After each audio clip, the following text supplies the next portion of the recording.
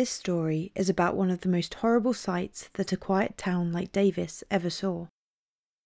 For all of you that don't know, Davis is a small, safe college town in California.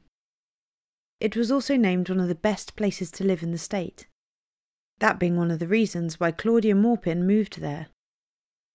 But in April 2013, the residents of Davis would be hit by terrible news.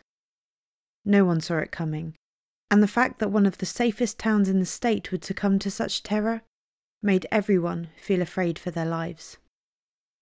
Welcome to Fear Files, where we discuss and dissect the most mysterious, terrifying, and mind bending cases from all over the world. Don't forget to like and subscribe if you're a fan of our work. Also, hit that bell icon so you can be notified each time we post a chilling story. Before we start, we would like to say that our thoughts and prayers go towards Claudia Maupin and Oliver Northup's families.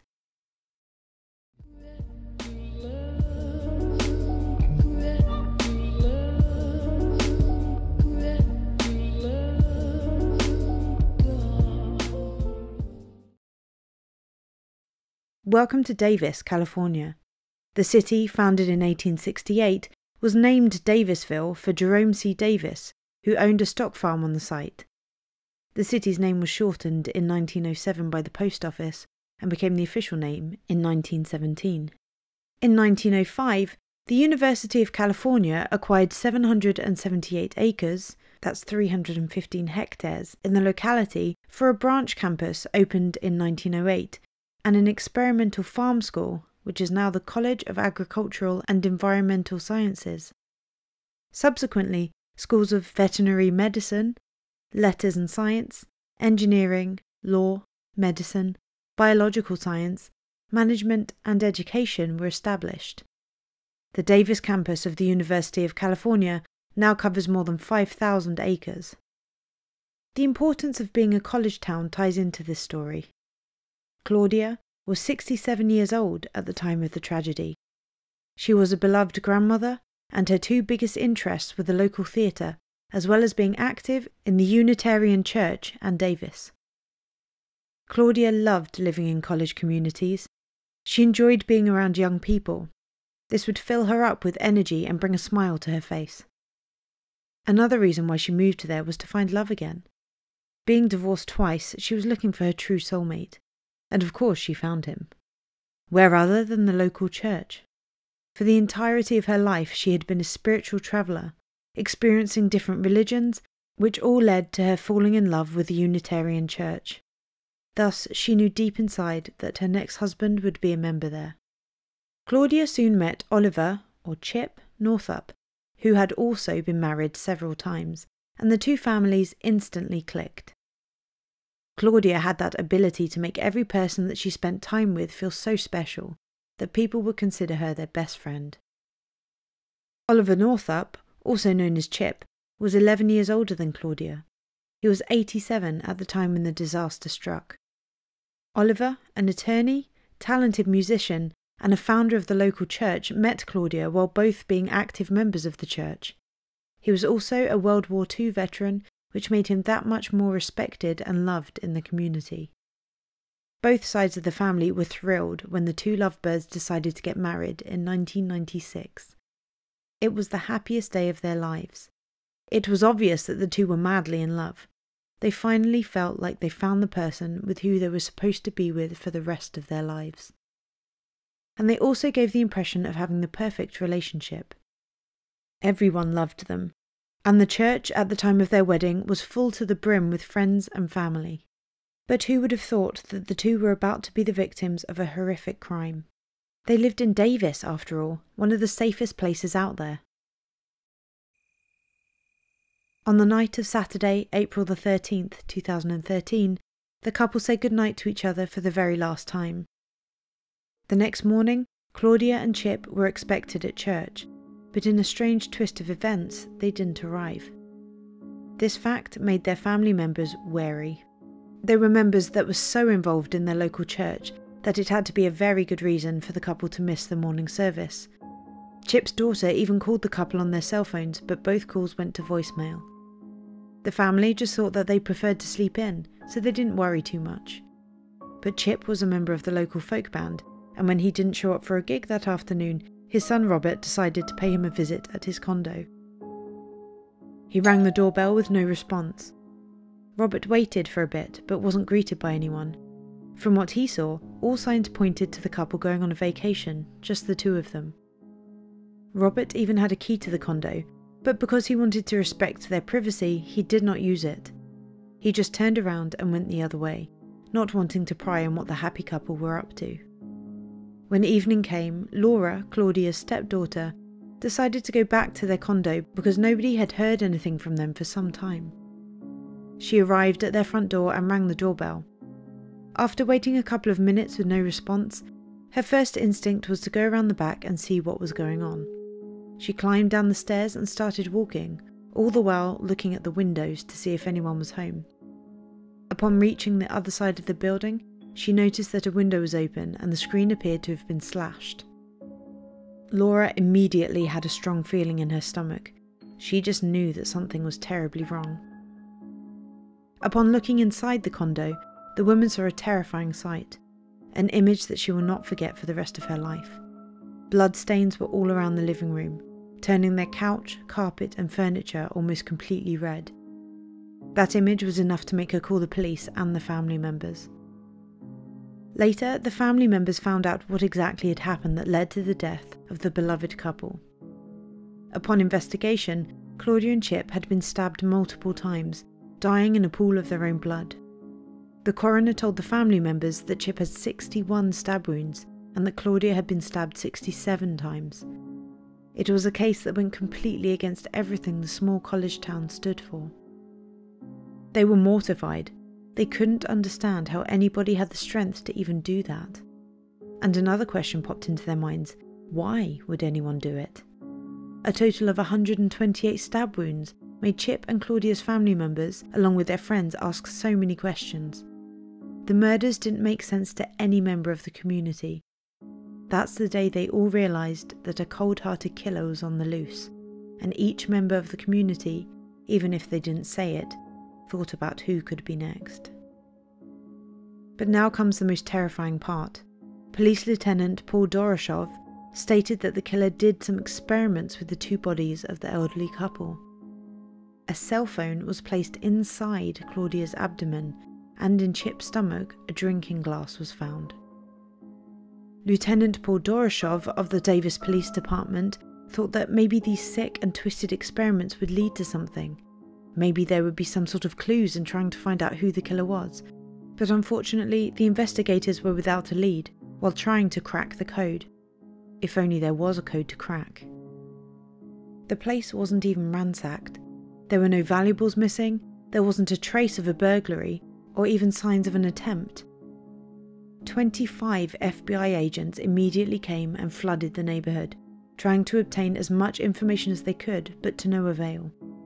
As it turned out, it seemed like it was the perfect crime. No footprints, no fingerprints, nothing. Even the FBI profilers were out of ideas. They didn't know if they were dealing with one killer or more. The case became more and more complicated. Each time they asked a question, two others popped up. Their first thought was that it had to be someone close to Chip and Claudia. It was the most logical theory. Maybe it was all caused by a family dispute or even a disagreement. All signs pointed to it being personal. The agents developed a story that someone with a key had done it, and that the cut in the screen door was created only to take away attention from what had really happened. This theory led to suspecting family members, and soon thereafter all of them were called individually for questioning. Then the police investigation went into the direction of Chip's son Robert and his own two sons, Oliver and Tony. Oliver also suffered from schizophrenia. The police also knew that Robert had a key to the couple's condo. Upon being asked if he knew that the police were looking at him and his brother, Oliver Northup said that they did and that all of them agreed to cooperate. They didn't have anything to hide. The first day of questioning took eight hours, and the next day was summed up in six. The three family members, Robert and his two sons, were exhausted, but he knew deep down that Chip would want them to be as helpful as possible. The father and two sons were questioned without a lawyer present. Robert knew that neither him nor his sons had anything to do with this, but of course the two boys were nervous during the interrogation. And how could they be calm? Upon looking through Robert's things, the police found carpeting that had been steam cleaned on the day of the murders. Investigators also found a very disturbing drawing made by Tony. It was a man holding a knife over two children in a bed. This kind of evidence would make anyone nervous and could easily be linked with the murder. But Robert stated that it was just bad timing. He didn't know that the day his father would be murdered would be the same day he cleaned his carpets. Mary Northup took the side of the three. She told the police that they weren't violent and that Chip would spend all the time he had with his two grandsons. No one in the family thought it was possible for either one of them to murder Chip and Claudia, and they all stuck together. Robert's family spent thousands of dollars hiring an attorney for Tony and repairing all of the damage done by the investigators. The Northup family, especially Tony, felt persecuted for no reason. When their carpet had been cut out by the police to perform further tests on it, and when some of the plumbing fixtures were taken out in hopes of finding anything hidden in the drain, the man and his two sons felt like they wanted to hide their heads in the sand. But even though his name was eventually cleared, Tony still felt that neighbours had their doubts about him. Three years after the murders, he would commit suicide. Oliver got a tattoo in memory of him. But everything changed one evening. For the entirety of two months, police thought the murder was perfectly executed. But that was about to change. One evening, the police received the following phone call. The caller requested to remain anonymous but later it was found that his name was Alvaro Garibay. What are you reporting? Double homicide. He was a 17 year old Davis High School student, and he claimed that the killer was his best friend. This information baffled the police, and it immediately captured their attention. When this tip came in, it seemed really strange. It didn't seem to match what any of the investigators had thought. Upon hearing the name of the murdered, Jeff Reisig, a Yolo County DA, recognised it immediately. He knew it from a couple of years back, but it wasn't associated with any crimes. As it turned out, Dan Marsh was viewed as a young hero, saving his father's life. At age 10, Daniel received the American Red Cross Heroes Award after using CPR to save his father from a heart attack hero to accused teen killer. Video of then 12 year old Daniel Marsh from 2009 when he was honored for saving his dad's life. And tonight, that 16 year old is facing double murder charges for killing an elderly couple inside their Davis home. The DA even thought to himself at the time that Daniel Marsh was going places.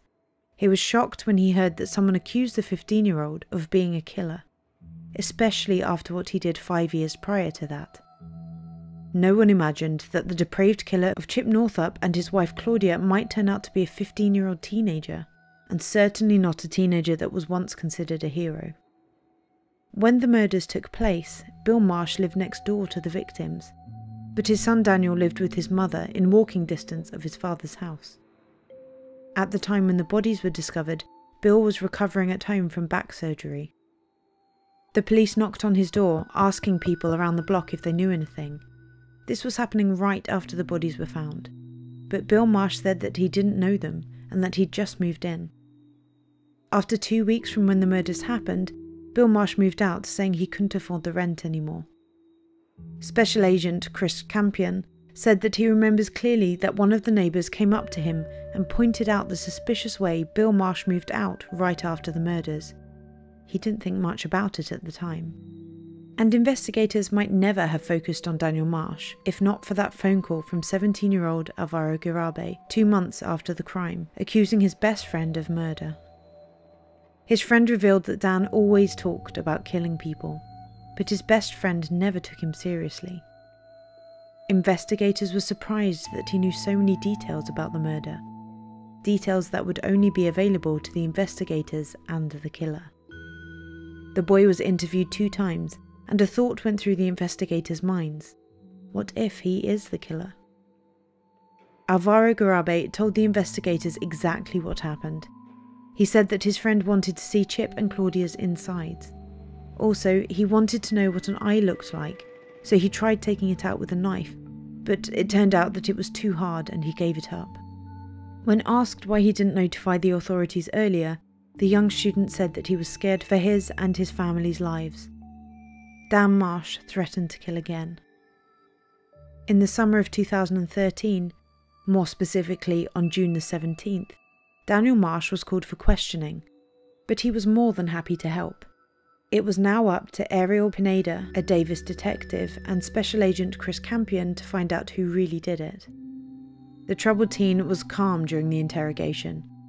At first, anyway. He thought that he would talk his way through it and nothing would happen. Upon being questioned, Dan Marsh said that he didn't know anything about it. He only knew what everyone else did the fact that someone broke in and killed Chip and Claudia. Investigators would spend the next three hours learning all they could about Marsh, looking for a way in. Daniel told them that he was always a loner and was considered an outcast. On the computer and do research on psychopaths. Yeah, Why did you do that? I looked up sociopath and psychopath because I always found it fascinating and the more I've aged, the more I can relate because I don't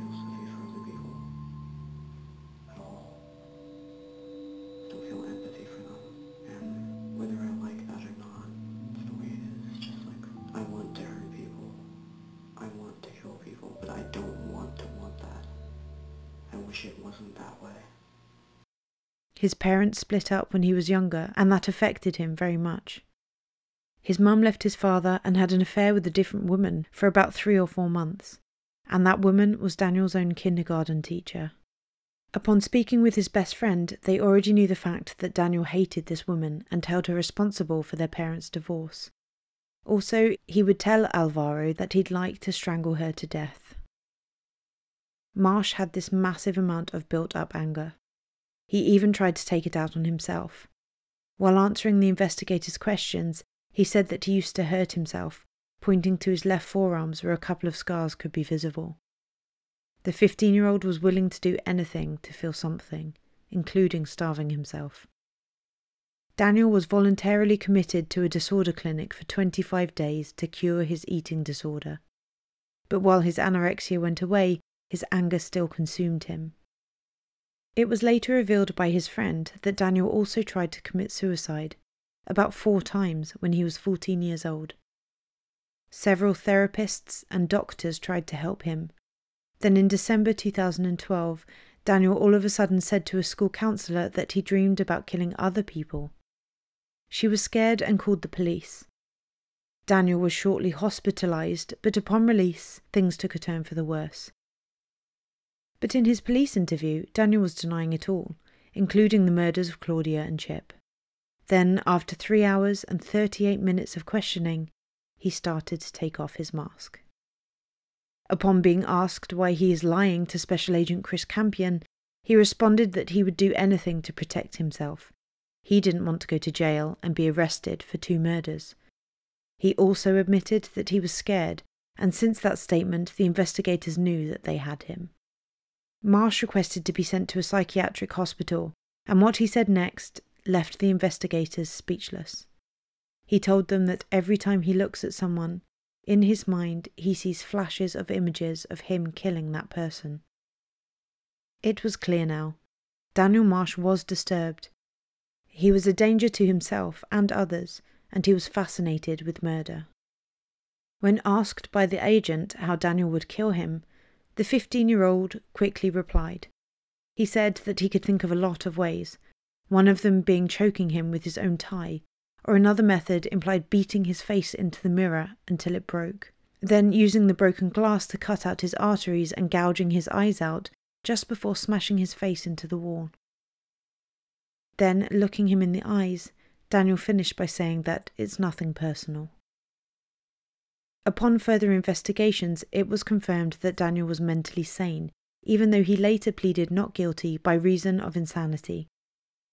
After finding him sane, the jury found him guilty of two counts of first degree murder, along with enhancements for the use of a lethal weapon, killing several people, lying in wait, and torturing the victims. For each murder count, he received a sentence of 25 years to life in prison, plus an additional two years for the enhancements to the crime. But it didn't end there. Proposition 57 was passed in California in 2016 and allows the juvenile court to decide whether or not an incident involving a minor should be brought before an adult court. As a result, Daniel's case had to be re examined because the legislation might be applied retrospectively. Accordingly, a court in October of the same year ordered Daniel to serve the balance of his time in prison.